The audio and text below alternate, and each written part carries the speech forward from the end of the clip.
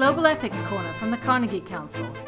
By 2050, some estimate that climate change will displace 150 million people.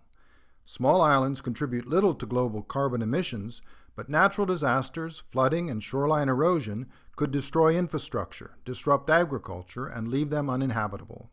The president of the Maldives, a developing state and island in the Indian Ocean, is looking for ways to relocate his entire population.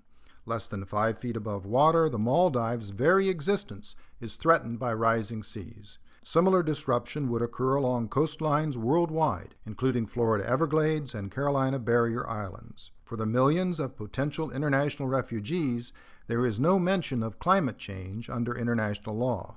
Refugees displaced for environmental reasons won't qualify for food, shelter, or other resources, and neighbors won't be required to open their borders. Indonesia offered to rent out territory to the displaced, but who will pay?